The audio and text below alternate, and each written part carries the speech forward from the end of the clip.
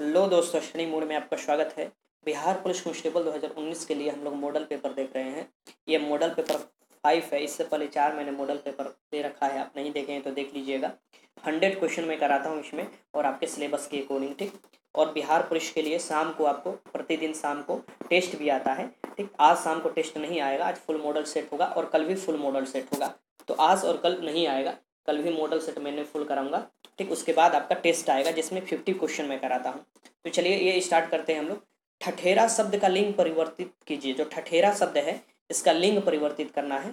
ठीक तो ये क्या हो जाएगा? ठठेरिन हो जाएगा। लिंग परिवर्तन करने के बाद इसका क्या होगा? ठठेरिन हो जाएगा। ठीक तो पहले के आंसर क्या हो जाएगा? सी हो जाएगा। आपको पता है कि आपके हिंदी व्याकरण से लगभग आठ से दस क्वेश्चन हिंदी व्याकरण से आपके पेपर में आते हैं, जिसके अकॉर्डिंग सिलेबस है।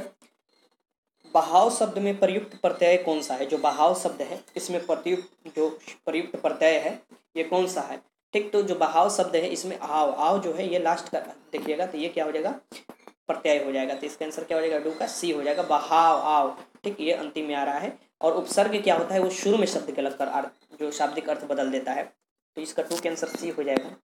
क्वेश्चन नंबर थ्री है, देखिए क्वेश्चन नंबर थ्री है। कि पाप पुण्य में कौन सा समास है? जो पाप पुण्य है, इसमें कौन सा समास है ये आपको बताना है। तो पाप पुण्य में जो समास है, ये द्वंद समास है, ठीक? द्वंद समास है। तो इसका आंसर क्या हो जाएगा? थ्री के आंसर बी हो जाएगा। आंसर मैं नीचे लिख रखा हूँ। क्वेश्चन नंबर फोर है कि आशीर्वाद का सही संधि विच्छेद करिए। आशीर्वाद जो है, इसका सही संधि विच्छेद आपको करना है। देखिए, मैं इसे बड़ा कर देता हूँ। इसको मैं कुछ बड़ा कर दिया, यहाँ पर आप देख लीजिए। ये पूछ रहा है कि आशीर्वाद का सही विच्छेद का होगा? तो असी धनवाद जो होता है, ये आशीर्वाद का सही संधि विच्छेद होता है। तो फोर के आंसर क्या हो जाएगा? बी हो जाएगा। क्वेश्चन नंबर फाइव है कि शत्रु का प्रवाची शब्द है। इसमें से शत्रु का प्रवाची शब्द बताना है आपको। मैं इसकी समानार्थक शब्द। तो इसका जो हो जाएगा, शत्रु का, ये हो जाएगा अरि। अरि क्या होगा? शत्रु का प्रवाची शब्द होगा, ठीक? तो फाइव के आंसर बी हो जाएगा। क्वेश्चन नंबर सिक्स है, तिलक किस प्रकार का शब्द है? जो तिलक है, ये किस प्रकार का शब्द है? जैसे शब्द, जैसे कि तत्सम होते हैं और तद्भव होते हैं, ठीक? देशज होते हैं, विदेशज होते हैं, संकर होते हैं, ठीक? तो ये जो शब्द है, तिलक, ये डायरेक्ट संस्कृत से निकलकर हिंदी में उपयोग होता है। तो ये क्या है? ये एक प्रकार का तत्सम शब्द है। तिलक क्या है? तत्सम शब्द है। तो सिक्स का आंसर ए हो जाएगा। क्वेश्चन नंबर सेवन है। यहाँ पर देख सकते हैं कि सूरज नज़र आना का अर्थ क्या है? सूरज नज़र आना, बोलते हैं ना, बहुत दिन बाद सूरज नज़र इसके सूरज नज़र आने का मतलब हुआ आता है क्या इसमें से ये बताना है? ठीक तो इसका अर्थ होता है बहुत दिन बाद दिखाई देना। सूरज नज़र में इसके बहुत दिन बाद दिखाई देना। सेवन के आंसर क्या हो जाएगा? सी हो जाएगा। क्वेश्चन नंबर एट है कि सृष्टि का विलोम शब्द क्या है? सृष्टि का विलोम शब्द बताना है कि सृष्टि का विलोम शब्द क्या है? तो सृष्टि अगर होता है तो सृष्टि का विलोम शब्द क्या होगा? अपोजिट मीन्स कि परलय हो जाएगा। क्या हो जाएगा? परलय हो जाएगा। क्वेश्चन नंबर नाइन्थ है कि जो पूजा के योग्य हो, जो पूजा के योग्य हो, उनके लिए क्या हम लोग उपयोग करते हैं? तो पूज्य। पूजनीय, पूज्य, ये जो है, ये पूजा के योग्य जो होते हैं, ठीक, इनके लिए होता है। तो नाइन के आंसर क्या हो जाएगा? बी हो जाएगा, ठीक। तो पूजा के योग्य के लिए पूज्य होता है। क्वेश्चन नंबर दस देखिए कि फरेश्वरनाथ रेणु किसके लेखक थे? जो फरेश्वरनाथ रेणु थे महान लेखक, ये किसके लेखक थे? इसमें से क्या ये लिखे थे? ये लिखे थे मैला आंचल। मैला आंचल, ठीक। तो दस के आंसर क्या हो जाएगा? सी, गीतांजलि कौन लिया था? रविन्द्रनाथ टैगोर ने लिखा था। इन्हीं, इसी के लिए उन्नीस सौ तेरह में इसका अंग्रेज़ी अनुवाद कर कर हुआ था तो उन्नीस में नोबल पुरस्कार मिला था। ठीक? क्वेश्चन नंबर ग्यारह, देखिए इंग्लिश ग्रामर से भी पाँच क्वेश्चन से सात क्वेश्चन आते हैं। ठीक तो मैंने इसमें पाँच क्वेश्चन आपको इंग्लिश ग्रामर से लिया, मैं छोटा कुछ कर देता हूँ। तो पूरी स्क्रीन पर आ जाए हाँ। क्वेश्चन नंबर ग्यारह कि the blue whale the blue whale is known animal is a length of more than one hundred feet तो यहाँ पर क्या होगा? इसमें से भरना है आपको। डिग्री पढ़े होंगे इंग्लिश में तो ये क्या होगा? द लार्जेस्ट द लार्जेस्ट होगा। The the blue whale is the largest known animal a length of more than the hundred feet इसका जो लंबाई होता है, ये हंड्रेड फीट से भी ज़्यादा होता है, ठीक? वेल ऐसी है, ठीक? तो एनिमल है। तो ग्यारह के आंसर सी हो जाएगा। क्वेश्चन नंबर बारह है एंटोस्टैंड बनाना है इसकी। आपको एंटोनिम बताना बताना है। और ये जो है, होता है, इसका विपरार्थक होता है। तो रिक्लेस का विपरार्थक क्या होगा? तो रिक्लेस का जो विपरार्थक हो जाए ये कटरसन होगा, ठीक? कटियस तो बारह के आंसर क्या हो जाएगा? बी हो जाएगा।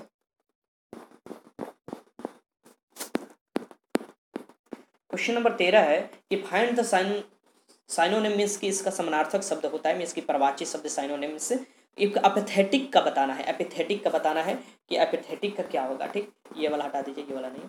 तो मिस अप्रोप्रिएट होगा कि बाई डिसइंटरेस्टेड होगा, कि सरप्राइज़ होगा, कि अंडरस्टैंडिंग तो एपिथेटिक मिस होता है डिसइंटरेस्टेड होगा इसका समानार्थक शब्द तो तेरह का आंसर हो जाएगा बी देखिए ऑप्शन ए ये दो जगह है इसे हटा दीजिएगा ये हो जाएगा आपका बी क्वेश्चन नंबर चौदह देखिए, कि a person who kill brother और सिस्टर एक जो आदमी है जो अपने ब्रदर और सिस्टर को मार देता है जान से, उसे क्या कहते हैं? उसको इंग्लिश में द फेट्रिसाइड कहा जाता है उसे। फेट्रिसाइड ठीक? ये याद रखिएगा। अब पेट्रीसाइड कहा जाता है, जब पेरेंट्स के अगर मार देते हैं तो जीनोसाइड मीन्स की जैसे बहुत लोगों को एक जगह मार दिया जाता है जीनोसाइड कर दिया जाता है अब देखते होंगे। तो देखते नहीं होंगे, सुने होंगे। तो चौदह के आंसर क्या हो जाएगा? इसमें बी हो जाएगा जो ब्रदर और सिस्टर को क्वेश्चन नंबर पंद्रह है कि Martha wanted the movie script in the black and white Martha want यहाँ देखिए। Martha wanted the movie script in black and white ये जो है, ये आपका एक प्रकार का एडमिस फ्रेज है, और इसका मतलब क्या होता है? ठीक तो इन राइटिंग होता है। इसका मतलब क्या होता है? ब्लैक एंड व्हाइट का मतलब क्या होता है? In writing Martha want the movie script in writing ठीक मीन्स की लिख कर तो पंद्रह के आंसर क्या हो जाएगा? डी क्वेश्चन नंबर सोलह, देखिए, यहाँ सबका सामान्य ज्ञान स्टार्ट होता है। क्वेश्चन नंबर सोलह की बांग्लादेश की स्थापना इस वर्ष हुई थी। जो बांग्लादेश बना था, ये हमारे, जैसे कि उन्नीस में पाकिस्तान बना था तो पाकिस्तान का दी दिया गया था। इसे जो अभी बांग्लादेश है, इसे पूर्वी पाकिस्तान कहा जाता था, उन्नीस में हुआ था बंटवारा और इधर पश्चिमी पाकिस्तान कहलाता था। लेकिन उन्नीस सौ इकहत्तर में युद्ध हुआ जिससे ये पश्चिमी पाकिस्तान जो पूर्वी पाकिस्तान है ये अब बांग्लादेश कहने लगा उन्नीस सौ इकहत्तर में युद्ध जब हुआ था। ठीक तो ये भी, भी याद आपको याद करने वाली है कि ये ज़रूर याद रखिएगा ये जो है। ठीक तो ये कब हुआ था? तो उन्नीस सौ इकहत्तर में बांग्लादेश की स्थापना उसी समय हुआ था तब ये बांग्लादेश है ये अब पूर्वी ये अब पाकिस्तान के नाम से जाना जाता है। तो सोलह के आंसर ए हो जाएगा। क्वेश्चन नंबर सत्रह है कि यूएनए का मुख्यालय कहाँ है? यूनाइटेड नेशन ऑर्गेनाइजेशन का मुख्यालय कहाँ है? संयुक्त राष्ट्र संघ, जो स्थापना दिवस चौबीस अक्टूबर को मनाया जाता है, उन्नीस सौ पैंतालीस में गठन हुआ था, और इसके अस्थायी सदस्य में पूछ सकता है। ये क्वेश्चन बार बार आता है, मैं इसलिए बार बार बताता हूँ। अस्थायी सदस्य जो है इनके, चीन है, रूस है, ब्रिटेन है, फ्रांस है और अमेरिका है। ये इसके अस्थायी सदस्य जिसके पास बिट्टो पावर होता है, सुरक्षा परिषद के अस्थायी सदस्य। ऐसे पंद्रह सदस्य होते हैं, लेकिन दस अस्थायी होते हैं और पाँच अस्थायी होते हैं। मैंने क्योंकि रिविजन वीडियो में ये बताया है आपको। तो यूएन का मुख्यालय कहाँ पर है? तो इसका जो मुख्यालय है, यह है न्यूयॉर्क में। कहाँ पर है? सत्रह के आंसर क्या हो जाएगा? डी हो जाएगा, न्यूयॉर्क में स्थित है। क्वेश्चन नंबर अठारह है। क्वेश्चन नंबर अठारह क्या कह रहा है? कि निम्न में से कौन सी नदी भूमध्य रेखा को दो बार काटती है? भूमध्य रेखा, यहाँ पर देखिए, भूमध्य रेखा कहते किसे हैं? तो ये पृथ्वी होगा हो गया। ये जो ज़ीरो डिग्री जो रेखा है ना, ज़ीरो डिग्री अक्षांश रेखा, इसे भूमध्य रेखा कहते हैं। और इसी को कौन सी नदी दो बार काटती है, ठीक? दो बार काटने का मतलब ऐसे दो बार काटती है तो ये कांगो नदी है। अफ्रीकन कॉन्टिनेंट का कांगो नदी है, जो कि इसे दो बार काटती है। और अफ्रीकन कॉन्टिनेंट में ही एक ऐसी नदी है, ठीक, आप नीचे आइए क्वेश्चन बनेगा। तो देखिए, इसमें अठारह के आंसर जो होगा, जाएगा, ये कांगो नदी, अमेजन जो नदी है, ये विश्व की सबसे चौड़ी नदी है। और विश्व की सबसे लंबी नदी जो है, यह है नील नदी, विश्व की सबसे लंबी नदी नील नदी है, ठीक, लेकिन चौड़ाई के हिसाब से अमेजन है। क्वेश्चन नंबर उन्नीस देखिए, क्वेश्चन नंबर उन्नीस क्या कह रहा है? क्वेश्चन नंबर उन्नीस ध्यान से देखिए। निम्न में से कौन सी नदी मकर रेखा को दो बार काटती है? दोनों क्वेश्चन एक साथ मैंने ले लिया, कब कोई भी आ सकता है क्वेश्चन। इसमें पूछ रहा है कि कौन सी ऐसी नदी है जो मकर रेखा को दो बार काटती है? ये आपको बताना है, ठीक? यहाँ पर मैं बड़ा कर देता हूँ थोड़ा बड़ा। तो ये दो मकर रेखा कहने का मतलब क्या हुआ? ये रहा आपका छांस रेखा ज़ीरो डिग्री, ठीक? जो विश्वत रेखा। ये रहा आपका साढ़े तेईस डिग्री उत्तरी। साढ़े तेईस डिग्री उत्तरी को क्या बोला जाता है?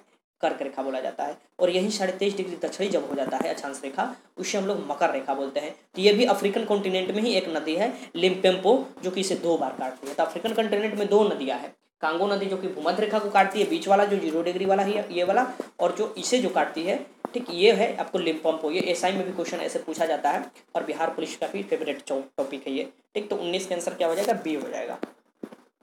क्वेश्चन नंबर बीस है कि महासागर, विशालतम महासागर, मैंने क्विक रिवीजन वीडियो में ये क्वेश्चन कराया था आपको तो क्विक रिवीजन वीडियो ज़रूर देखा कीजिए। ठीक, विशालतम महासागर कौन है? तो जो विशालतम महासागर में सबसे बड़ा महासागर जो है, ये प्रशांत महासागर है। आपको क्षेत्रफल के अनुसार भी और गहराई के अनुसार भी, गहराई में इसका मरियाना ट्रेंच जो है, लगभग ग्यारह सौ मीटर उसकी गहराई है। ठीक, ये है। और जो उसके बाद आता है अटलांटिक महासागर, दूसरे स्थान पर यह भी याद याद रखिएगा। जो ये है आपको विशालतन महासागर में ये हो जाएगा प्रशांत महासागर। इसका जो आकार है ये वो आकार का है और उसके बाद जो आता है ये आता है अटलांटिक, जिसका आकार इस आकार का है, ठीक? तो बीस के आंसर क्या हो जाएगा? डी। क्वेश्चन नंबर इक्कीस कि नागा अर्जुन सागर बाँध किस नदी पर है? जो नागा अर्जुन सागर बाँध है, ये किस नदी पर बना हुआ है? तो ये बना हुआ है कृष्णा नदी पर। कृष्णा नदी पर बना हुआ है तो इक्कीस का आंसर क्या हो जाएगा? बी हो जाएगा। क्वेश्चन नंबर बाईस है कि भारत के किस राज्य का क्षेत्रफल सबसे अधिक है? भारत के किस राज्य का इसमें से क्षेत्रफल सबसे अधिक है? अधिक है। मीन्स की क्षेत्रफल की दृष्टि से सबसे बड़ा राज्य कौन है? तो राजस्थान है। कौन है? राजस्थान है। और जनसंख्या की दृष्टि से सबसे बड़ा राज्य कौन है? तो उत्तर प्रदेश है। जनसंख्या की दृष्टि से सबसे छोटा जो राज्य है, वो आपको सिक्किम है। और क्षेत्रफल की दृष्टि से सबसे छोटा जो राज्य है, वो आपको गोवा है। ये भी याद रखिए, ये सब क्वेश्चन पूछा जा सकता है। जनसंख्या घनत्व की दृष्टि से सबसे पहला जो राज्य है, ये बिहार क्वेश्चन नंबर तेईस है कि बुद्ध में वैराग्य भावना किन चार दृश्यों के कारण बदलती है? बुद्ध जब वैराग्य में इसकी वैराग्य छोड़ देते हैं घर ये क्या चार दृश्य देखे थे? ठीक निकले थे बाहर तो, तो इसमें देखे थे बूढ़ा रोगी मृतक और सन्यासी। तो ये क्या हो जाएगा? तेईस के आंसर क्या हो जाएगा? ये हो जाएगा महात्मा बुद्ध लुम्बनी जो है स्थान वहाँ पर जन्म हुआ था इनका। ठीक और कपिल वस्तु की लुम्बनी में हुआ था और इन्हें ज्ञान की प्राप्ति बोध गया में हुआ और सबसे पहला उपदेश ये सारनाथ में दिए थे। ठीक तो ये याद रखिएगा तेईस के आंसर क्या हो जाएगा? ये हो जाएगा क्वेश्चन नंबर चौबीस है कि वैदिक काल में विनिमय के माध्यम के रूप में किसका प्रयोग किया जाता है? वैदिक काल में जो मुख्यतः विनिमय के माध्यम के रूप में प्रयोग किया जाता था, जिसका सबसे ज़्यादा वैल्यू था, ये गाय का था। किसका था? गाय का था। तो इसका आंसर क्या हो जाएगा? चौबीस का आंसर बी हो जाएगा। गाय को पवित्र माना जाता था। और चार वेद है हम लोग का। ऋग्वेद सबसे बड़ा और सबसे प्राचीन वेद है। ऋग्वेद सामवेद अथुर्वेद और अजुर्वेद है। ठीक तो ये याद रखिएगा। क्वेश्चन नंबर ट्वेंटी फाइव है कि जयपुर, दिल्ली, मथुरा तथा उज्जैन में जंतर मंत्र के नाम से वैद्यशाला का निर्माण किसने कराया था? तो ये जंतर मंत्र के नाम से वैधशाला के निर्माण कराए थे। ये किसने कराया था? तो आपको बताना है, ठीक? तो ये कराए थे, राजा सवाई जयसिंह ने। राजा सवाई जयसिंह कहीं कहीं सवाई राजा सवाई दिया रहता है, या कहीं कहीं राजा सवाई जयसिंह या कहीं कहीं सवाई जयसिंह भी दिया रहता है, ठीक? तो आप ज़रूर ये लगाइएगा, पच्चीस का आंसर क्या हो जाएगा? डी हो जाएगा, ठीक? ये वैद्यशाला की ये चारों जगह पर कराए थे, इसमें से ये चारों में से कोई अलग नाम उठा कर देगा। मान लीजिए कि जयपुर, दिल्ली, मथुरा दिया, और बीच में यहाँ पर जोड़ दिया आपको क्या? गाजीपुर, मान लीजिए, या पटना जोड़ दिया। तो ऐसे कर कर पूछता है कि कहाँ पर नहीं कराए थे तो वो आपको ध्यान में रखना है। यही चार जगह पर ये कराए थे। क्वेश्चन नंबर छब्बीस है कि दार समुद्र दार समुद्र किस वंश की राजधानी थी? जो दार समुद्र है, ये किस वंश की राजधानी थी? तो ये होशेल की राजधानी थी किसकी? तो होशेल की राजधानी थी इसका आंसर। क्या बढ़ेगा छब्बीस का ये हो जाएगा। क्वेश्चन नंबर सत्ताईस है कि किस किस समय कोलकाता में प्रथम न्यायालय की स्थापना की गई थी? तो किसके समय सबसे पहले कलकत्ता में प्रथम न्यायालय की स्थापना की गई थी? तो वारन हेस्टिंगस के समय, जो आया था आपको सत्रह सौ तिहत्तर का एक्ट आया था, उसी के बाद कोलकाता में एक सर्वोच्च न्यायालय सत्रह सौ चौहत्तर में स्थापित किया गया था। यह रेगुलेटिंग एक्ट था, सत्रह सौ तिहत्तर को कंपनी पर रेगुलेशन करने के लिए लाया गया था। सत्ताईस के आंसर सी हो जाएगा। क्वेश्चन नंबर अट्ठाईस कि भारत में रेलवे तंत्र कब स्थापित किया गया था? जो भारत में रेलवे तंत्र है, रेलवे तंत्र की शुरुआत किया गया था मुंबई से अठाड़े के बीच में, और लॉर्ड डलहौजी के शासनकाल में शुरुआत किया गया था, और ये अठारह में शुरुआत किया गया था, ठीक? तो अट्ठाईस के आंसर क्या हो जाएगा? डी हो जाएगा। क्वेश्चन नंबर उनतीस है कि मोहनी अट्टम किस राज्य की नृत्य है? मोहनी अट्टम नृत्य रूप से विकसित निम्नलिखित में किस राज्य में हुआ था? ये जो विकसित हुआ है, या किस राज्य की नृत्य है, ये भी हो सकता है ये जो है, ये केरल की है, कहा कि केरल की है। केरल को मसाला का बगीचा बोला जाता है। सशक्ता दृष्टि से सबसे शासन राज्य में केरल ही आता है। तो उनतीस का आंसर क्या हो जाएगा? डी हो जाएगा। क्वेश्चन नंबर तीस है कि भारत का सबसे बड़ा महाकाव्य है। जो भारत का सबसे बड़ा महाकाव्य है या सबसे बड़ा महाकाव्य ये भी दे सकता है, पूरे विश्व में भी दे सकता है तो सबसे बड़ा जो महाकाव्य है, ये महाभारत है। कौन है महाभारत क्वेश्चन पूछा जा चुका है तो तीस का आंसर क्या हो जाएगा? ए हो जाएगा। क्वेश्चन नंबर इकतीस है कि किस स्थान, किस राज्य विधानसभा में सदस्यों की संख्या सबसे ज़्यादा है? इसकी अधिकतम है। किस विधानसभा में कौन सी ऐसी राज्य जहाँ की विधानसभा में सदस्यों की संख्या सबसे ज़्यादा है? ये जो है, ये उत्तर प्रदेश में। उत्तर प्रदेश में लोकसभा की सीट भी ज़्यादा है, राज्यसभा की भी सीट ज़्यादा है और विधानसभा की भी सीट ज़्यादा है। क्यों ज़्यादा है? क्योंकि यहाँ के विश्व, ये सबसे, भारत में सबसे ज़्यादा जनसंख्या वाला राज्य ये उत्तर प्रदेश ही है। ठीक तो इकतीस के आंसर ये हो जाएगा। क्वेश्चन नंबर बत्तीस है कि स्वतंत्र भारत की पहला, पहली महिला राज्यपाल कौन थी? स्वतंत्र भारत की पहली महिला राज्यपाल और स्वतंत्र भारत की पहली महिला मुख्यमंत्री, ये दोनों यूपी से ही है। इस बात को भी याद रखिएगा और ये भी याद रखिएगा, कहीं ना कहीं इंदिरा गांधी की जो पिताजी थे, जवाहरलाल नेहरू, उनका भी इलाहाबाद में आपको मिस की यूपी से ही थे और इंदिरा गांधी भी थी तो यूपी से ही कहलाएँगी। मिस की यूपी आपको प्रथम महिला प्रधानमंत्री भी देने वाला है, ठीक? तो और प्रथम प्रधानमंत्री तो दिया ही था। तो यहाँ पर याद रख सकते हैं कि ये जो है राज्यपाल बनी थी, ये सबसे पहले सरोजनी नायडू बनी थी और सुचिता कृपलानी सबसे पहले ये मुख्यमंत्री बनी थी और प्रधानमंत्री जो बनी थी, ये इंदिरा गांधी बनी थी और जो विजया लक्ष्मी पंडित थी, जवाहरलाल नेहरू के बहन थी, यूएन में सबसे पहले ये बनी थी इसका, ठीक, महिला में। तो बत्तीस का आंसर क्या हो जाएगा? डी हो जाएगा।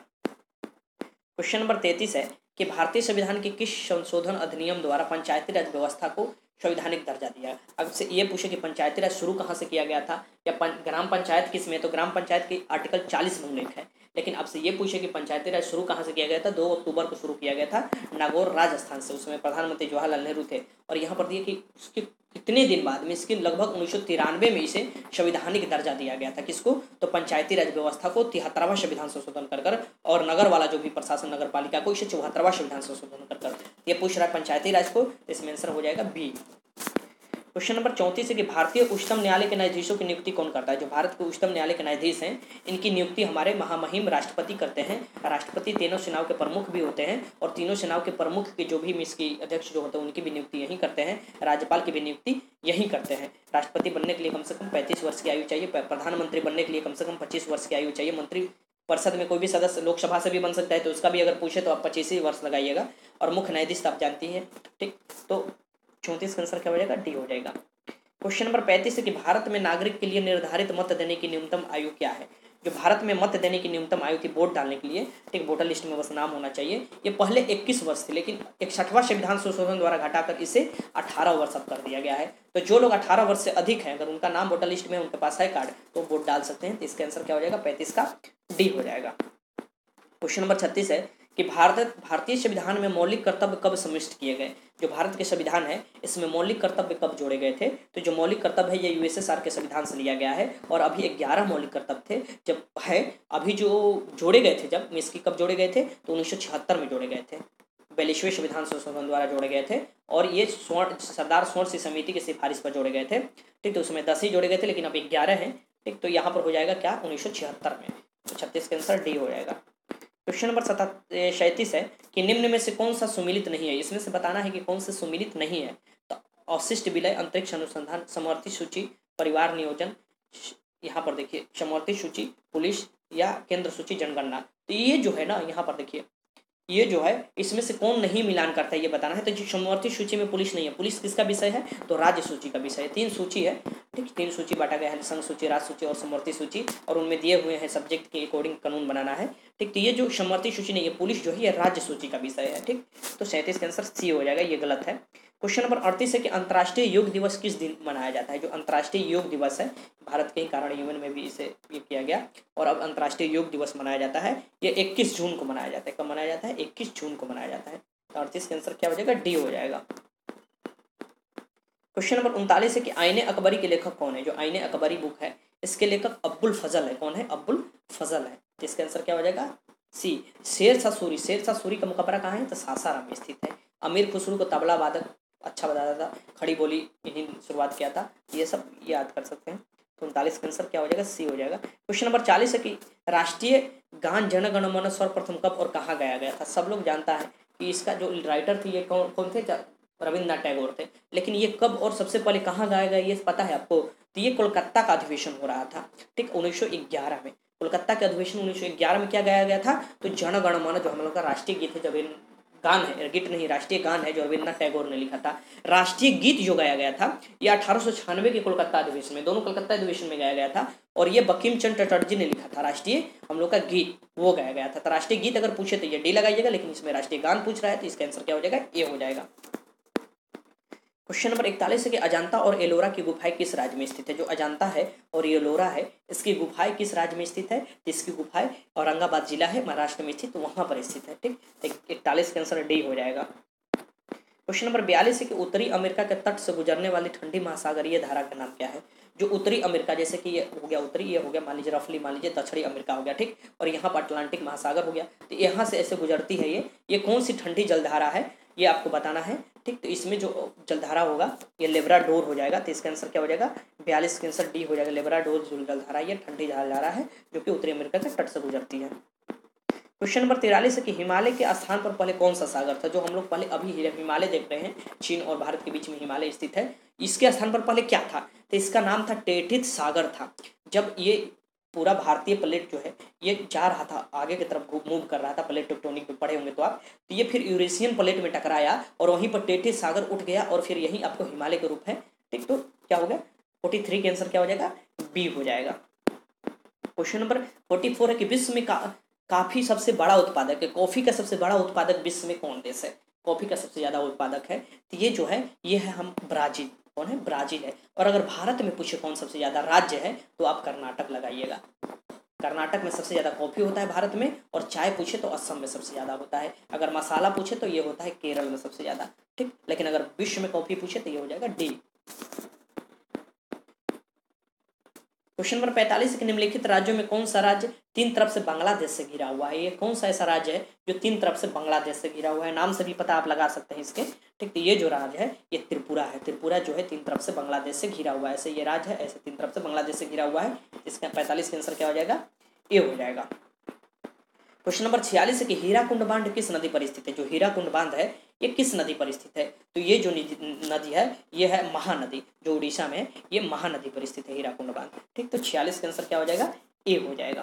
क्वेश्चन नंबर सैंतालीस, के निम्नलिखित में किस राज्य का स्वार्थिक कृषि क्षेत्र तालाबों द्वारा सिंचित होता है? में किस तालाबों द्वारा सिंचाई किया जाता है सबसे ज़्यादा? किस राज्य का? तो ये तमिलनाडु का, दक्षिण का राज्य है, तमिलनाडु का। ठीक तो सैंतालीस का आंसर क्या हो जाएगा? डी हो जाएगा। क्वेश्चन नंबर अड़तालीस है कि इंदिरा गांधी परमाणु अनुसंधान केंद्र कहाँ पर स्थित है? जो इंदिरा गांधी परमाणु अनुसंधान केंद्र है, ये कहाँ पर स्थित है? ये कलपक्कम में स्थित है। कहाँ पर स्थित है? कल पक्कम में स्थित है, ठीक? तो ये याद रखिएगा, अड़तालीस के आंसर क्या हो जाएगा? ये डी हो जाएगा। और सबसे पहले जो परमाणु विस्फोट किया गया था, वो ये उन्नीस में किया गया था एक बार। एक बार उन्नीस में अटल बिहारी वाजपेयी के राज में और ये इंदिरा गांधी के राज में। तो ये ज़रूर याद रखिएगा, ये परमाणु जो है कि पोखरण में किया गया था, राजस्थान में मूवी भी आया था, आप देखे होंगे। तो अड़तालीस का आंसर क्या हो जाएगा? डी हो जाएगा। क्वेश्चन नंबर उनचास है कि भारतीय राज्यों में सर्वाधिक जनजातीय संख्या है। किसकी सर्वाधिक जनजातीय संख्या है? ये आपको बताना है शेड्यूल ट्राइब। तो ये कौन सी ऐसी राज्य है? ठीक तो ये दो राज्य है। ये दो राज्य में कौन से है? तो मध्य प्रदेश में सबसे ज़्यादा, फिर उसके बाद छत्तीसगढ़। ठीक है इसका आंसर हो जाएगा, उनचास का आंसर क्या हो जाएगा? ये हो जाएगा, जनजातीय ज़्यादा है, संख्या। क्वेश्चन नंबर पचास है कि नासिक किस नदी के तट पर बसा हुआ है? कुंभ यहाँ भी लगता है। तो नासिक किस नदी के तट पर बसा हुआ है? ये आपको बताना है। तो ये है गोदावरी नदी के तट पर। गोदावरी को दक्षिणी गंगा बोला जाता है। कावेरी को दक्षिण का गंगा बोला जाता है, ठीक? तो इस बात को ध्यान रखिएगा। तो दक्षिणी गंगा जिसे बोला जाता है, गोदावरी के तट पर लगता है। तो पचास के आंसर सी हो जाएगा। क्वेश्चन नंबर इक्यावन है कि आरबीआई का राष्ट्रीयकरण कब किया गया था? जो आरबीआई है, रिज़र्व बैंक ऑफ़ इंडिया लोग राष्ट्रीय बैंक है। ठीक? इसका राष्ट्रीयकरण कब किया गया था? तो ये बताना है आपको, इसका राष्ट्रीयकरण कब किया गया था? ये उन्नीस में किया गया था, स्थापना उन्नीस में किया गया था और राष्ट्रीयकरण उन्नीस में किया गया था। तो इक्यावन के आंसर क्या हो जाएगा? सी हो जाएगा। क्वेश्चन नंबर बावन है कि क्षेत्रीय ग्रामीण बैंक की स्थापना कब हुई थी? जो क्षेत्रीय ग्रामीण बैंक है, इसकी स्थापना कब हुई थी? क्षेत्रीय ग्रामीण, ग्राम ग्राम को, ग्राम से ज़्यादा ई पैसे देने के लिए, ठीक? कृषि उर्षि के लिए। तो ये जो किया गया था, ये दो अक्टूबर उन्नीस सौ पचहत्तर में किया गया था। दो अक्टूबर उन्नीस सौ पचहत्तर तो बावन के आंसर क्या हो जाएगा? डी हो जाएगा।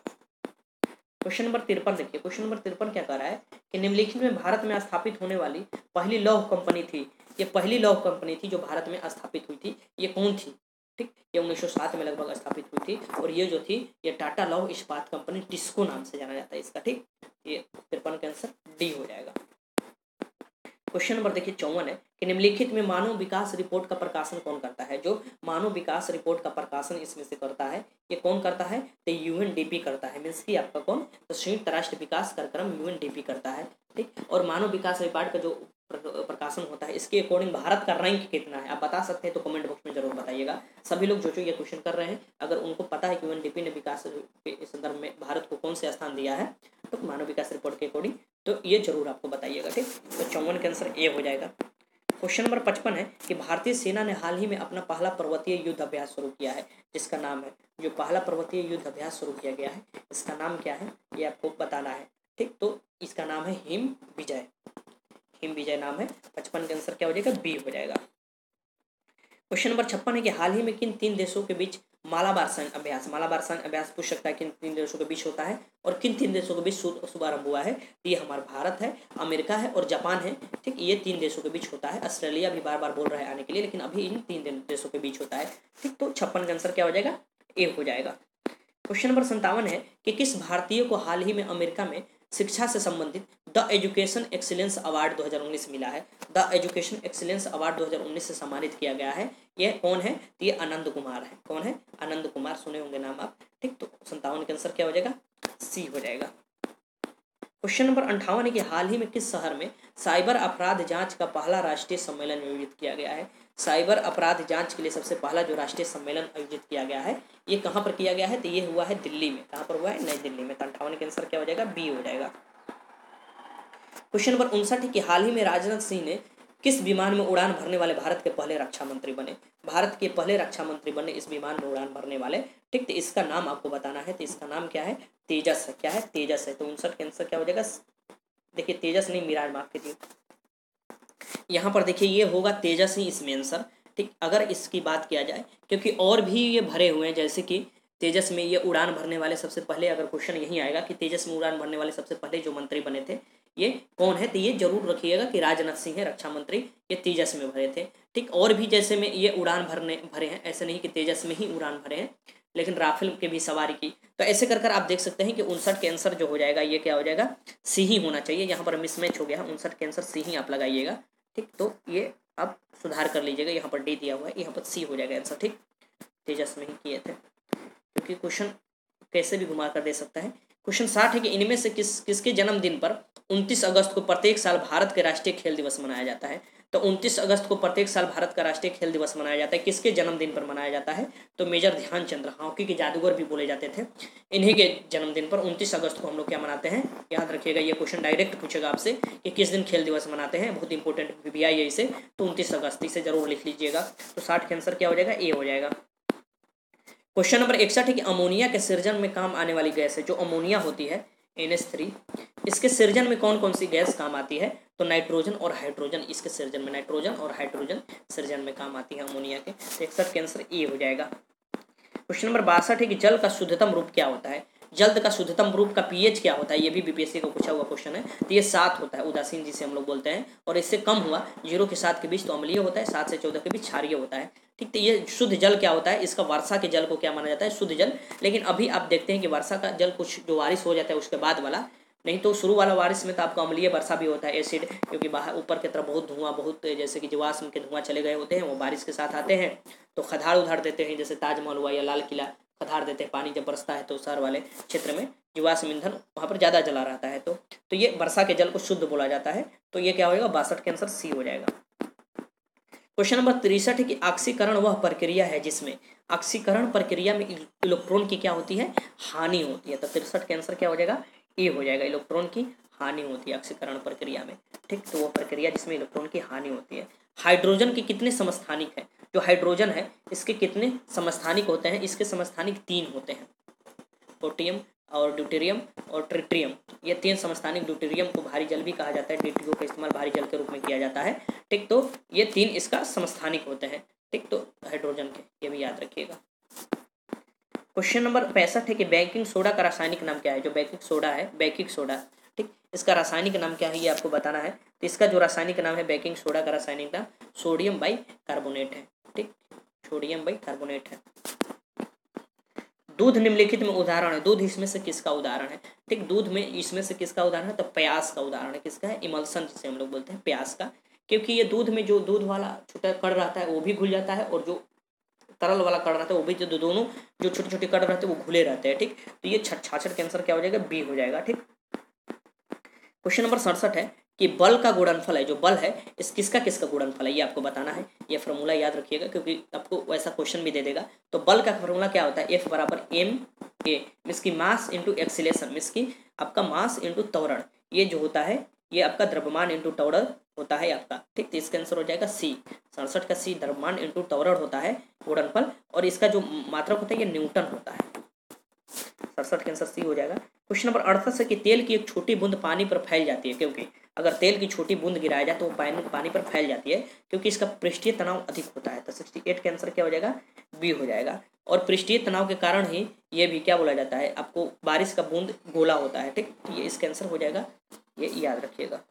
क्वेश्चन नंबर सिक्सटी एट है कि तेल की एक छोटी बूंद, देखिए, ये हो गया पृष्ठीय तनाव के कारण। क्वेश्चन नंबर देखिए, क्वेश्चन नंबर सिक्सटी नाइन है कि श्वेत प्रकाश जब प्रिज्म से होकर गुजरता है तो जो वर्ड सबसे अधिक विचलित होता है वो कौन होता है? तो श्वेत प्रकाश जब प्रिज्म से होकर गुजरता है तो इसमें से क्या होगा? जो विचलित होगा, श्वेत प्रकाश जब प्रिज्म होता है तो वो सात रंगों में ऐसे हो जाता है, डिवाइडेशन हो जाता है मिस सात रंग हो जाते हैं। तो उसमें सबसे जो विचलित होता है यह बैगनी रंग होता है, कौन से रंग होता है? बैगनी रंग होता है। सिक्सटी नाइन का आंसर क्या हो जाएगा? सी हो जाएगा। क्वेश्चन नंबर सेवेंटी है, किसी तारे के रंग से पता चलता है, ठीक? किसी तारे के रंग अगर है तो उससे उसका क्या पता चलता है? ये आपको बताना है तो उससे उसका ताप का पता चलता है। क्या पता चलता है? ताप का पता चलता है, ठीक? तो सत्तर के आंसर क्या हो जाएगा? सी हो जाएगा। सूरज भी एक तारा ही है, जो पृथ्वी के सबसे अगर नज़दीक तारा दे, और उस ऑप्शन में सूरज रहे तो आप सूरज ही लगाइएगा। उसके बाद पृक्षमा सेंचुरी और भी बहुत से तारे हैं, ठीक? तो ये ज़रूर लगाइएगा। क्वेश्चन नंबर इकहत्तर के निम्नलिखित में से कौन अर्धचालक है? इसमें से बताना है कि कौन अर्धचालक है। ठीक तो अर्धचालक का उपयोग आप सेमीकंडक्टर जो अर्धचालक है, उनका उपयोग किया जाता है। और जैसे कि सिलिकॉन सिलिकॉन एक अर्धचालक है। सीम उम आप देखते हुए चिप में चिप में इसका उपयोग किया जाता है। कंप्यूटर कंप्यूटर में उपयोग उपयोग किया जाता है। बहुत महँगा मिलता है। ठीक तो इकहत्तर के आंसर क्या हो जाएगा? बी एक क्या है? अर्धचालक है। क्वेश्चन नंबर बहत्तर है कि लाउड स्पीकर में ऊर्जा का परिवर्तन, जो लाउड स्पीकर होता है, उसमें ऊर्जा का परिवर्तन होता है। कैसे होता है? तो ध्वनि से विद्युत और तत्पश्चात ध्वनि यहाँ पर देखिए। विद्युत से यांत्रिक में होता है। पहले विद्युत जो ऊर्जा, विद्युत से बजाया जाता है। विद्युत से यांत्रिक, तत्पश्चात ध्वनि में ऊर्जा में हो जाता है। ये वाला ऑप्शन सही होगा, बहत्तर का ऑप्शन सी सही होगा। पहले क्या होगा? विद्युत से यांत्रिक में, उसके बाद ध्वनि में परिवर्तित हो जाता है। लाउड स्पीकर में तो बहत्तर के आंसर सी हो जाएगा। तो ये याद रखिएगा कि इसमें क्या होता है, सबसे पहले विद्युत से यांत्रिक तत्पश्चात ध्वनि में ऊर्जा में ये परिवर्तित हो जाता है, या ध्वनि से सीधे आप विद्युत से सीधे ध्वनि भी कहीं कहीं दिया रहता है तो वो भी आप लगा सकते हैं, ठीक? तो ये होगा सी यहाँ पर देखिए, अब जो ऑप्शन है, यहाँ पर बी है, ये वाला काट लीजिएगा, यहाँ पर सी होगा, ठीक? आंसर क्या होगा, इसका सी होगा।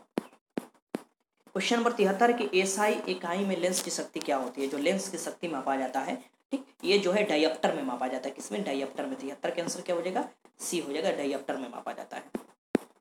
क्वेश्चन नंबर चौहत्तर है कि एक मील बराबर होता है, जो एक मील होता है, ये बराबर होता है जो कि चलने वाला पैदल मील की बराबर, समुद्री मील की बात नहीं की जा रही है, वो वन, वो होता है वन पॉइंट एट किलोमीटर के बराबर होता है।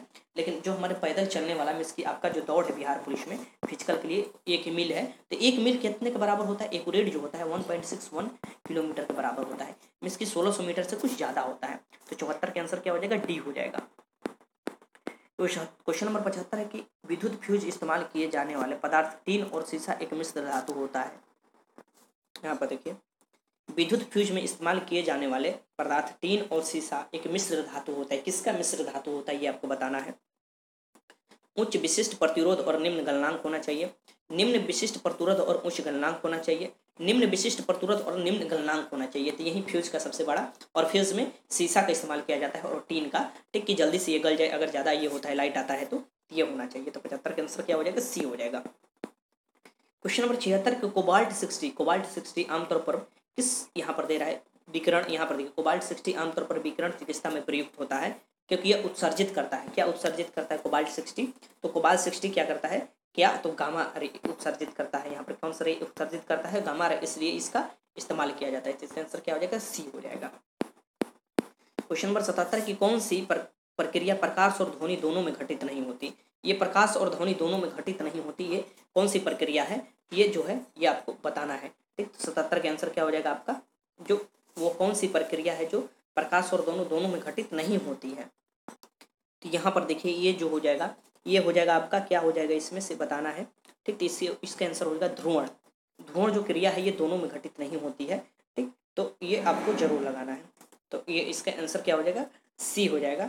ठीक तो प्रकाश ध्वनि दोनों में घटित नहीं होती है। तो इसका आंसर सी लगाइएगा। देखिए, यहाँ पर भी डी आ गया है आंसर लेकिन यहाँ सुधार लीजिएगा। ये हो जाएगा आपका सी हो जाएगा। ये नहीं होगा। सी इसका आंसर होगा। जो मैं बता रहा हूँ, वहीं आपको लगाना है। ठीक, क्योंकि वहीं सही मैं बता रहा हूँ। तो सतहत्तर का सी हो जाएगा। पचहत्तर क्वेश्चन नंबर अठहत्तर है कि एग्रो एस्ट्रोलॉजी में किसके अध्ययन किया जाता है? जो एग्रो एस्ट्रोलॉजी है मिस की एग्रो एस्ट्रोलॉजी एग्रोस्ट्रोलॉजी में जो अध्ययन किया जाता है, ये घासों का अध्ययन किया जाता है। किसका अध्ययन किया जाता है? तो घासों का अध्ययन किया जाता है। अठहत्तर का आंसर सी हो जाएगा। क्वेश्चन नंबर उनासी है कि जीव द्रव प्रोटोप्लाज्म जो है, इसका प्रयोग सर्वप्रथम किसने किया था? जीव द्रव या प्रोटोप्लाज्म का जो सर्वप्रथम उपयोग किया गया था मिस ये किया गया था। प्रयोग शब्द प्रयोग सर्वप्रथम किसने किया था? तो ये पुरकुंजे ने किया था। ठीक? जो शब्द है, इसका पुरकुंजे ने किया था। तो इसका आंसर क्या हो जाएगा? सेवेंटी नाइन का सी हो जाएगा क्वेश्चन नंबर एटी है कि डीएनए के दो हेलेक्सिक मॉडल या प्रारूप, दो हेलेक्सिक प्रारूप को पहली बार किसने प्रस्तावित किया था? मॉडल भी आप बोल सकते हैं, डाई हेलेक्सिक, जो डीएनए का मॉडल है, ये किसने किया था? तो वाटसन एंड क्रिक ने किया था। किसने किया था? वाटसन एंड क्रिक ने किया था। तो इसका आंसर क्या हो जाएगा? डी हो जाएगा। क्वेश्चन नंबर इक्यासी देख लेते हैं। पुष्प के जन्म चक्र है, जो पुष्प के जन्म चक्र है, ये कौन से हैं, ठीक? तो ये पुमांग और जयांग, जो जनन चक्र है पुष्प के इक्यासी के आंसर डी हो जाएगा। क्वेश्चन नंबर बयासी है कि बच्चों में रिकट्स जो बीमारी होती है और वयस्क में अस्टियोमेलेसिया हो जाता है, हड्डी उड्डी टेढ़ हो जाता है, पतला होकर, ये किसकी कमी के कारण होता है? ठीक तो बच्चों में रिकट्स होता है और बड़ों में ये होता है। ये किसकी कमी के कारण होता है? तो ये विटामिन डी की कमी के कारण होता है और विटामिन डी की प्रचुर मात्रा कहाँ पर मिलती है? वो सूरज के प्रकाश में मिलती है। तो एट्टी टू के आंसर क्या हो जाएगा? यहाँ पर ए हो जाएगा, ठीक? एट्टी टू का आंसर ए हो जाएगा और भी तो ये इसका आंसर हो जाएगा। विटामिन जो ए है, इसकी कमी से रतौंधी हो जाती है, रतौंधी दिखाई नहीं देता। और ये जो मिलता है, प्रचुर मात्रा इसका गाजर में मिलता है। विटामिन सी का प्रचुर मात्रा आंवला में मिलता है, ठीक? तो ये याद रखिएगा। क्वेश्चन नंबर एटी थ्री है कि कौकों में संचित भोज्य पदार्थ प्राय होता है। जो कौक में संचित भोज्य पदार्थ है एक प्राय होते हैं। तो ये ग्लाइकोजिन के रूप में होते हैं, कि प्रोटीन होते हैं लिपिड होते हैं, कि मंड होते हैं। तो ये ग्लाइकोजिन के रूप में कौकों में संचित भोज्य पदार्थ होता है। तो एटी थ्री के आंसर ए हो जाएगा। क्वेश्चन नंबर एटी फोर है कि आर एन ए का मुख्य कार्य क्या होता है? डीएनए आप जानते हैं डाइगोलेक्सिस लेकिन आर एन ए जो होता है, इसका मुख्य कार्य क्या होता है? आर एन ए इसका मुख्य कार्य जो होता है, ये आपको बताना है तो ये प्रोटीन संश्लेषण में सहायता करता है, ठीक? तो एटी फोर के आंसर क्या हो जाएगा? बी हो जाएगा। क्वेश्चन नंबर एटी फाइव है कि मानव मस्तिष्क कितने ग्राम का होता है? जो मानव मस्तिष्क होते हैं लगभग कितने ग्राम के होते हैं? ठीक तो महिला में इतना होता है और पुरुष में इतना होता है। सौ ग्राम का अंतर होता है। ठीक तो ये जो होते हैं मानव मस्तिष्क का भार होता है। तो पहले पचासी का आंसर क्या हो जाएगा? ए हो जाएगा। क्वेश्चन नंबर छियासी की रेगिस्तान में पैदा होने वाले पौधे कहलाते हैं। जो रेगिस्तान में पैदा होने वाले पौधे होते हैं, वो क्या कहलाते हैं? ये आपको बताना है। ठीक तो ये जो रेगिस्तान में पौधे पैदे होते हैं, इन्हें क्या कहा जाता है? तो ज़ीरो फाइटा कहा जाता है। ज़ीरो फाइटस ये रेगिस्तान में पैदा, जो पौधे होते हैं उन्हें ठीक तो ये एटी सिक्स के आंसर बी हो जाएगा। क्वेश्चन नंबर एटी सेवन देख लेते हैं। निम्नलिखित में कौन सा सबसे अधिक स्थित परितंत्र या परिस्थितिक तंत्र है? स्थिर है, एक जगह है। ये परितंत्र है, सबसे स्थिर परितंत्र कौन है? तो ये महासागर, जो विश्व में स्थित महासागर है, ये स्थिर परितंत्र है। तो एटी सेवन के आंसर हो जाएगा D question number eighty eight है कि मानव शरीर में जो है फास्फोरस पाया जाता है। कहाँ पाया जाता है? ये है आपका क्वेश्चन कि मानव शरीर में फास्फोरस पाया जाता है। ये कहाँ पाया जाता है? तो अस्थियों और दांतों में पाया जाता है। जो फास्फोरस या कैल्शियम होता है, ये अस्थियों और फास्फोरस जो है कि अस्थियों और दांतों में पाया जाता है। दांत का सबसे ऊपर वाला भाग सबसे कठोर होता है एनामिल जिसे बोला जाता है। एटी एट का आंसर बी हो जाएगा। क्वेश्चन नंबर एटी नाइन है कि निम्न में से किस वायु प्रदूषक के कारण मनुष्य में तंत्रिका तंत्र संबंधी रोग होता है? तंत्रिका तंत्र संबंधी रोग किसके कारण होता है? वायु प्रदूषक के कारण। ठीक? तो ये शीशा के कारण होता है क्या? शीशा के कारण मानसिक विकार भी होते हैं। तो एटी नाइन के आंसर क्या हो जाएगा? ए हो जाएगा।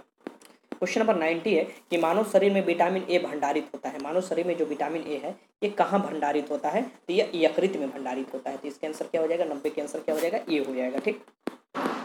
अब यहाँ से मैथ आपका स्टार्ट होता है। दस क्वेश्चन मैथ के आते हैं। सिलेबस के अकॉर्डिंग आपका। तो मैथ आपको बताना है। यहाँ पर देखिए, यहाँ पर क्या है? कि पाँच संख्याओं का औसत अठारह है, एक संख्या छोड़ देने पर औसत सोलह हो जाता है। तो छोड़ी गई संख्या क्या है? ये आपका मैथ है। देखिए, मैं इसके लिंक के नीचे, मैं एक लिंक दूँगा, उसके नीचे फेसबुक का मैं दे दूँगा, अमित। स्टडी मोड आप अगर सर्च करते हैं तो आ जाएगा। उसे ज़रूर आप कर लीजिएगा। इसकी फॉलो कर सकते हैं वहाँ पर। वहाँ पर जो भी है, मैं छोटे छोटे पिक्चर के रूप में पढ़ने वाला, जो भी आपके इंसान के लिए ज़रूरी है, वहाँ पर पोस्ट करता हूँ। कल ही मैंने बनाया है और उसे ज़्यादा से ज़्यादा आप ये करिए, ठीक? मैं नीचे लिंक दे दूँगा फेसबुक का, उसे ज़रूर आप लोग कर लीजिएगा। यहाँ पर देखिए, पाँच संख्याओं का जो औसत दे रहा है, अठारह दे रहा है। पाँच संख्या जो है, ये इसका औसत अठारह है। जो संख्या हम लोग निकाल देते हैं तो पाँच, अठारह में गुणा कर दीजिए, ठीक? यहाँ पर एक संख्या छोड़ दे रहा है, मीन्स इसकी एक संख्या छोड़ दे रहा है, और औसत क्या हो जा रहा है? सोलह हो जाता है। तो छोड़ी गई संख्या क्या है? तो एक संख्या छोड़ते हैं तो माइनस यहाँ पर चार कर सकते हैं। इसकी चार संख्या हुआ और इसका संख्या निकाल दीजिए तो सोलह से गुणा कर दीजिए। इसकी इतना से अगर इतना को, इतना में से इतना घटा दे रहे हैं तो वो संख्या निकल कर आ जाएगा। इसकी पाँच संख्याओं का औसत दिया है कितना? अठारह। और एक संख्या छोड़ दो इसकी चार संख्याओं का औसत सोलह दिया है तो एक बीच वाला संख्या निकल कर आ जाएगा आपका। तो घटाइए। अठारह पच्चे नब्बे और सोलह शून्य बत्तीस, सोलह चौंसठ। यहाँ से अगर घटाते हैं तो यहाँ पर आता है क्या? लास्ट में क्या आना चाहिए आपको? छः आना चाहिए तो यहाँ से भी ऐसे छठे निकल जाते हैं मार्कर। यहाँ पर, ठीक है, छः आया और फिर ये हो गया एट और सिक्स यहाँ पर टू हो जाएगा। तो इसका आंसर क्या हो जाएगा? सी हो जाएगा। जो संख्या है सी इक्यानवे। क्या हो जाएगा? यहाँ पर संख्या सी होगा। देखिए, यहाँ पर यहाँ पर भी आंसर गलत हो गया है। डी यहाँ पर देखिए ऑप्शन में है। डी यहाँ पर ये वाला काट लीजिए। ये वाला नहीं होगा। ये सी ही होगा। मैंने आपके सामने बनाकर दिखाया है कि पाँच संख्याओं का औसत जो होता है, अठारह पाँच नब्बे ही होता है। और इसमें से अगर सोलह चौके चौंसठ घटाते हैं तो यहाँ पर छः आया और यहाँ पर दो तो छब्बीस आएगा तो ये सी ही होगा। तो ऐसे कन्फ्यूज़न होता है तो खुद से बना लीजिए और बार बार उसे मिलान कर लीजिए। क्वेश्चन नंबर बानवे है कि इतना मीटर विमाओं वाले कमरे में रखी जाने वाली सबसे लंबी छड़ की लंबाई क्या होगी? बहुत ही आसान क्वेश्चन है, लेकिन अगर आपको तरीका नहीं पता है तो इसमें गुणा भाग करने में आप अपना समय व्यतीत कर सकते हैं। लेकिन आपको बस तरीका, इसमें क्या होता है कि ये पूछ रहा है कि इतना मीटर लंबाई, चौड़ाई और ऊंचाई वाला एक घर है, ठीक? और उसको क्या करना, उसमें एक लंबा छड़ रखना है तो लंबाई मैक्सिमम कितनी हो सकती है, वो छड़ की, ठीक? तो उसको क्या करिए सीधे इसे रूप डालिए और इसको स्क्वायर कर दीजिए। ठीक तो मैं इसकी इसको स्क्वायर कीजिएगा तो निकाल कर निकालिएगा तो नीचे की तरफ़ मैं इसको बनाया हूँ नहीं बनाया हूँ। चलिए मैं बनाकर आपको दिखा देता हूँ इसमें। देखिए मैं इसे बनाता हूँ। ऐसे क्वेश्चन आते हैं ना तो डायरेक्ट आपका कीजिए कि सबसे लंबी छड़, ये तीनों दिया हुआ है भुजा और इसमें अगर पूछे कि सबसे लंबी छड़ या कोई भी सबसे लंबा रखने वाला तो आप रूट में डालिए और इसका स्क्वायर कीजिए। इसकी बारह के स्क्वायर कीजिए प्लस नौ के स्क्वायर कीजिए प्लस आठ के स्क्वायर कीजिए। अगर इन तीनों का स्क्वायर करते हैं तो इसका एक सौ चौवालीस आता है रूट में। ठीक और इसका इक्यासी आता है और प्लस इसका चौंसठ आता है। तीनों को जोड़ते हैं तो रूट में दो सौ नवासी आएगा। इस पहले रूट बनाइए, दो सौ नवासी आ जाए। अब यहाँ पर आप देखिए, इसको जब निकालिएगा तो ये सत्रह निकल कर आएगा। की सत्रह मीटर लंबी छड़ इसमें रखी जा सकती है। तो बानवे के आंसर क्या हो जाएगा? बी हो जाएगा। बहुत ही आसान है। बस रूट डालिए और इसको स्क्वायर इसको स्क्वायर इसको स्क्वायर जोड़कर जो बाहर निकल कर आ रहा है, वही सबसे लंबी छड़ हो जाएगी। ठीक तो बानवे के आंसर क्या हो जाएगा? बी हो जाएगा। क्वेश्चन नंबर तिरानवे अशीष और कुशल की वर्तमान आयु का अंतर चौबीस वर्ष है। अशील अशीष और कुशल की वर्तमान जो आयु है, इसका अंतर चौबीस वर्ष है तथा उनका अनुपात जो है आयु का इतना है। तो उनकी आयु, वर्तमान आयु का योग कितना होगा? जो वर्तमान आयु है तो उनका अनुपात क्या दे रहा है? मान लीजिए थ्री एक्स है, यहाँ पर सेवन एक्स ठीक, इनके अनुपात दे रहा है। ठीक, और उनके वर्तमान जो पूछ रहा है अशीष और कुछ वर्तमान आयु का अंतर पूछ रहा है तो अंतर दिया हुआ है यहाँ पर तो आप इसे कैसे निकाल सकते हैं? यहाँ पर देखिए, मान लीजिए। ठीक, ये ये इस अनुपात में दिए हुए हैं और इसका अंतर दिए हुए हैं। इसकी सेवन एक्स और थ्री एक्स ठीक तो छोटा वाला का थ्री एक्स हो जाएगा, बड़ा वाला का सेवन एक्स हो जाएगा इसको माइनस कर दीजिए। मीस की अंतराल दिया हुआ है, ऊपर आप देख सकते हैं मैंने क्वेश्चन यहाँ पर पहले समझ लीजिए। ठीक, दोनों का अनुपात दिया हुआ है और उनकी आयु का अंतर दिया हुआ है। तो ये बड़ा वाला आयु हो गया, ये छोटा वाले का हो गया। तो इस दोनों का हम अंतर करते हैं तो चौबीस वर्ष वर्ष आता है। ठीक तो ये चौबीस लिख दीजिए। तो एक्स का वैल्यू छः निकल कर आ जाएगा। अगर इन दोनों का जोड़ कर पूछ रहा है कि इन दोनों का योगफल कितना होगा, अगर दोनों को जोड़ा जाए तो यहाँ पर देखिए, ये दे रहा है उनकी आयु का योग कितना होगा। तो एक्स बराबर कितने आया है यहाँ पर? एक्स बराबर छः आ गया है तो इनको जोड़ते हैं छत्री। मीन्स की इनको जोड़ते हैं तो क्या आता है आपको three x plus seven x जोड़िएगा तो टेन एक्स आएगा और इसमें से आप एक्स की जगह छः रखिएगा तो यहाँ पर साठ वर्ष निकल कर आ जाएगा। बहुत ही आसान क्वेश्चन है, बहुत ही अच्छे तरीका से आप बना सकते हैं, ठीक? तो यहाँ पर साठ वर्ष हो जाएगा। ये हो जाएगा दोनों को जोड़ने पर। क्वेश्चन नंबर चौरानवे है कि एक समानांतर चतुर्भुज एक कोण उसके छोटे कोण के दुगने से तीस कम है। एक समानांतर चतुर्भुज है, समानांतर चतुर्भुज है, ठीक? और ये पूछ रहा है कि एक कोण उसके सबसे छोटे कोण के दुगने से तीस कम है। इसके सबसे बड़े कोण की माप की याद कीजिए। ठीक तो ये छोटे कोण के तो आप जानते हैं आमने सामने के 180 डिग्री हो जाता है इनका। तो ये जो बोल रहा है सबसे पहले वो, माना कि छोटा कोण क्या हो जाएगा? अल्फ़ा हो जाएगा। और बड़ा कोण क्या हो जाएगा? 180 डिग्री माइनस अल्फ़ा हो जाएगा। ठीक, इसलिए 180 डिग्री माइनस अल्फ़ा बराबर यहाँ पर क्या हो जाएगा? दुगने से माइनस तीस है। दुगने से माइनस तीस है, इन दोनों का अंतर दुगने से माइनस तीस है। ठीक तो थ्री अल्फ़ा बराबर दो सौ दस हो जाएगा।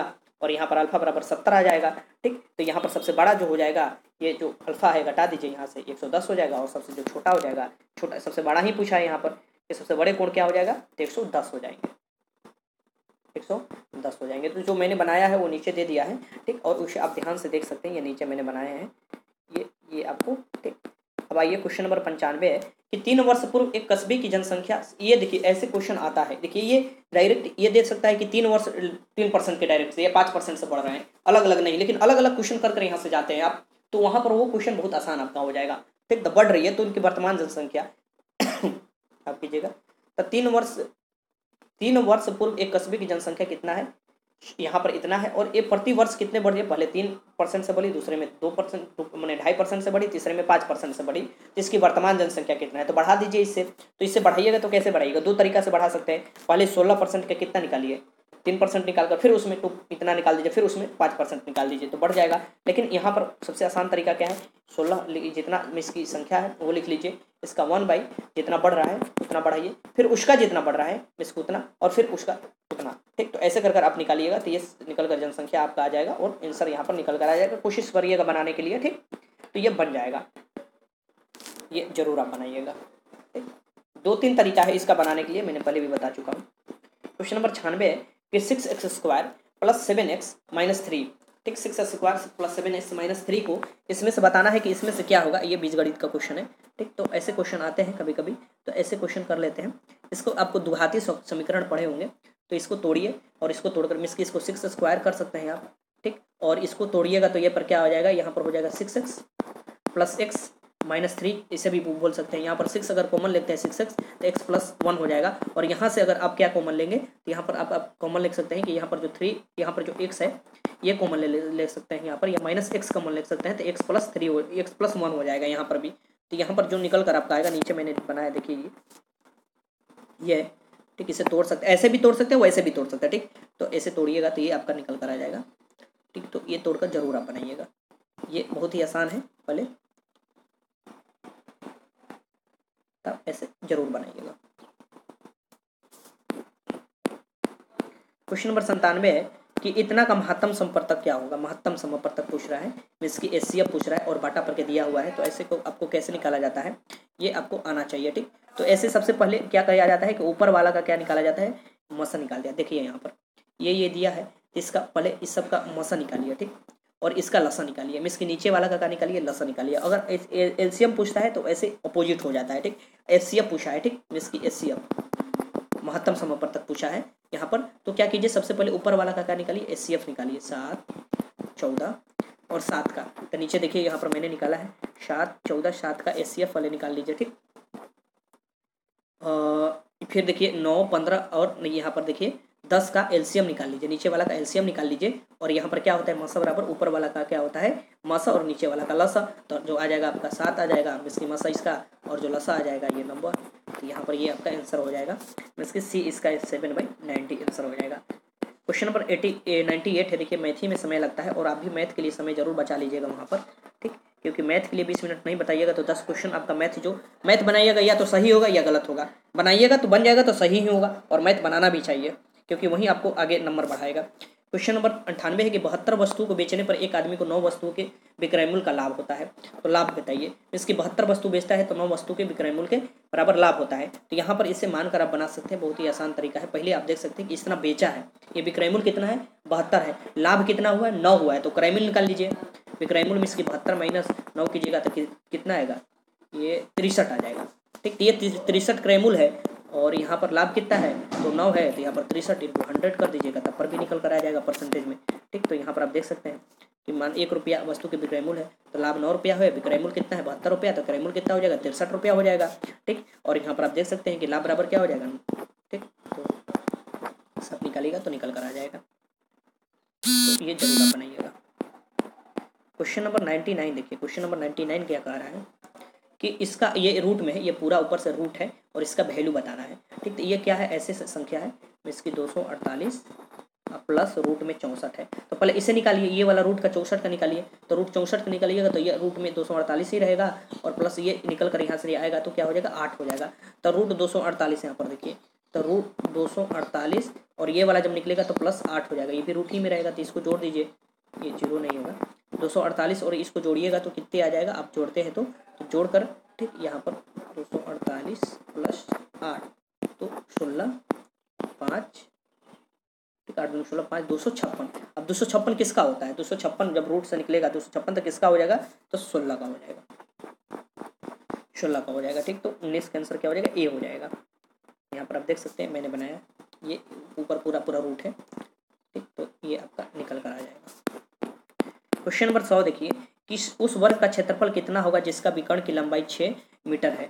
छः मीटर विकर्ण की लंबाई दे रहा है और वर्ग दे रहा है। वर्ग का क्षेत्रफल कितना होगा? तो सबसे पहले आप जानते हैं कि इसके चारों भुजा बराबर होती है और अगर विकर्ण की फॉर्मूला पूछा जाए तो अंदर टू इंटू भुजा, ये विकर्ण की फॉर्मूला होती है, ठीक? तो क्या दिया है? इसका विकर्ण दिया हुआ है। विकर्ण क्या दिया हुआ है? छः दिया हुआ है और रूट टू है इंटू भुजा। तो भुजा निकालिएगा तो ये रूट नीचे चला जाएगा। ऊपर फिर रूट ये कीजिएगा, प्रेमीकरण, ये कट जाएगा तीन बार में। इसके तीन रूट यहाँ पर क्या आ जाएगा?